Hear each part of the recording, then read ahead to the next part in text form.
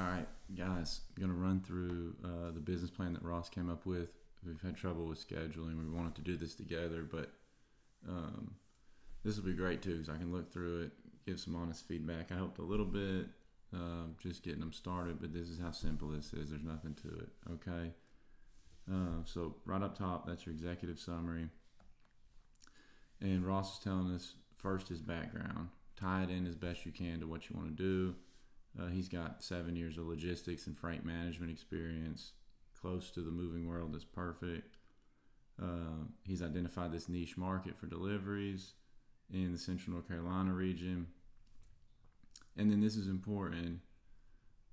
Our little differentiator is the brand will be based around caring for clients' homes and products and will represent itself as professional and reliable. Perfect. Like sounds good, sound clean, copacetic here's how the business is going to find profits. If you're not making any money, you just have a hobby, you don't have a business, and uh, moving furniture all day would be a really crazy hobby. So we want to make sure we're profitable. We're going to do that by managing costs, uh, pricing competitively, and expanding. Okay. Um, competitive advantage that we have is access to vehicles, equipment, and a network of customers through the existing business. Right. Perfect uh, business description's blank because the next video I'm going to do is going to be on how to set up an LLC. If it's a simple one member LLC, I would never use anything like LegalZoom. So easy for you to do it on your own. I'll show you how. Mine will be, uh, or this one for Ross will be specific to the state of North Carolina, but I've done them in multiple states. It's the easiest thing in the world. So never pay a fee to start a business other than the fee you got to pay to the state um, to register that business. So it's blank, but we'll look at that tomorrow. Market analysis first is our prospects. Uh, so these are all just off the top of the mind. There's about 40 more. We'll get to that. This is a good place to start. Competition. Um, this is as little as Ross knows. There's some more out there, but there's not a ton. There's a few big uh, moving companies that do do some delivery, but we will find them as we go for example, like Trosa sometimes does something. So we'll find them as we go. Not too worried about competition because I can tell you from trying to find somebody that everybody's booked or they're not that good. Okay. Target market consignment stores in the area listed above. That's our where we're starting. And individuals, downsize, donations, fine furniture, local moves. I would get rid of local moves. We don't want to get in the moving business but any furniture store. Okay, I would add that. Mattresses. I mean, there's a lot here. Like you can grow this thing. So, our marketing and sales strategy. Again, the network. We're gonna use relationships with Always Home.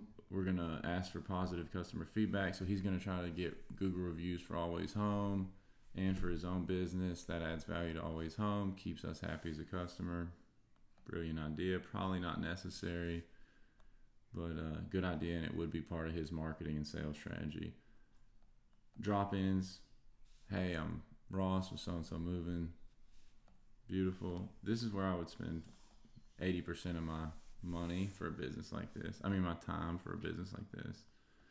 And he even said business cards and flyers possible later down on the road. So uh, next is your op plan. Let's see if we can space this down just to clean it up. There we go. So use the setup at Always Home and other locations if they need a system built. So I built a pretty good system. If somebody's got a real mess, you can bring that in there.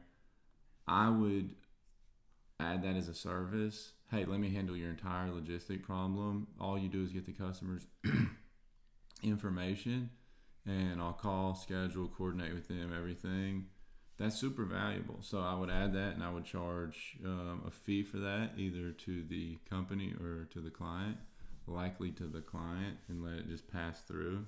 Build that into your pricing.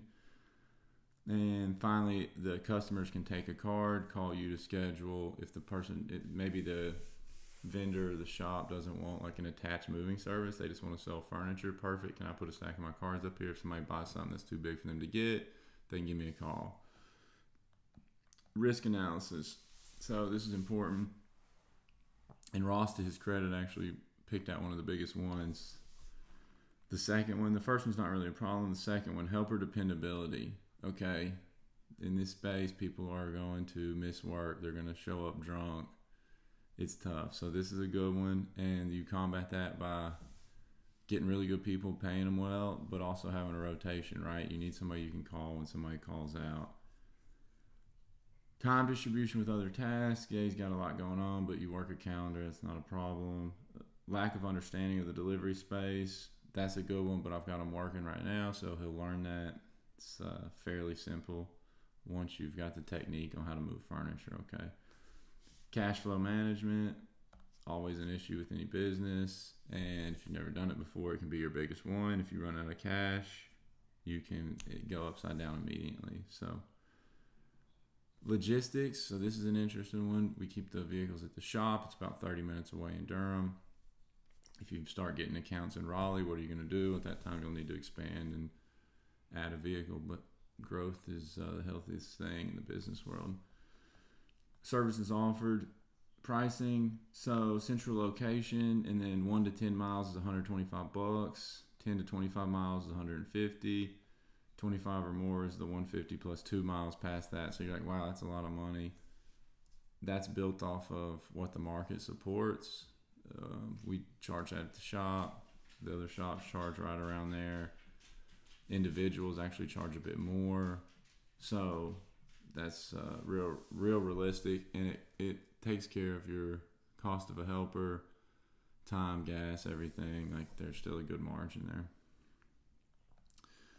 And I would also do like a daily contracted rate. So if I could get a company like we do, where we just pay you every Tuesday, thousand bucks, come out here, handle all the deliveries, perfect um, shoot for eight. Uh, 800 to 1000 bucks a day depending how much they got going on if you can line some contracts up it's good because then it's not hand to mouth you can get some predictable cash flow projections so when you're thinking about services anything that you can make repeatable or um, you see all these monthly boxes you know where people order camping gear and they get a surprise box every month anything like that that you can do is just fantastic so um, sort of like a subscription model. We want uh, re- repeat business. So there it is, very simple. If you do this, you can now make some decisions. You can layer SWOT analysis over this. But for what we're doing, this is good enough for us to execute on, right? Like there's nothing that I'm missing in here that is going to cause me any problems. Tomorrow we will build a business. I'll record that, show you how to do it. And next week we will be in operation and we'll show you what that looks like.